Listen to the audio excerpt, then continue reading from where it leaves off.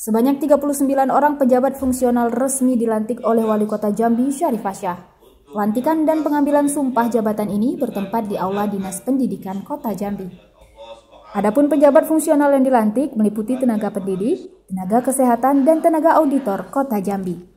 Dalam hal ini Wali Kota Jambi berpesan kepada para pejabat yang dilantik untuk tidak menyalahgunakan jabatan karena pemerintah pusat sudah berniat baik dengan memberikan perhatian khusus terhadap pejabat fungsional seperti kepangkatan dan lain sebagainya.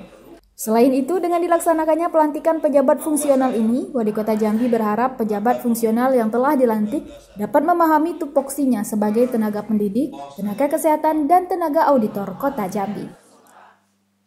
Tetap, tetap sistem online dan saya ingatkan juga, untuk diingatkan ya, kepada para pendaftar jangan terpengaruh dengan janji-janji calo.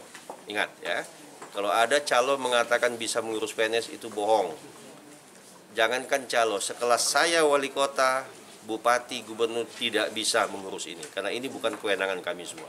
Kami hanya melaksanakan pendaftaran dan soal dan semua segala macam itu dibuat oleh pemerintah pusat melalui sistem online semua. Ya, nanti ada mungkin menggunakan sistem chat atau apa nanti kita tidak tahu tapi uh, yang pasti ini semua online. Jangan terpengaruh dengan tawaran joki atau tawaran calo. Dari Jambi Ria Agustin Tribrata TV salam Tribrata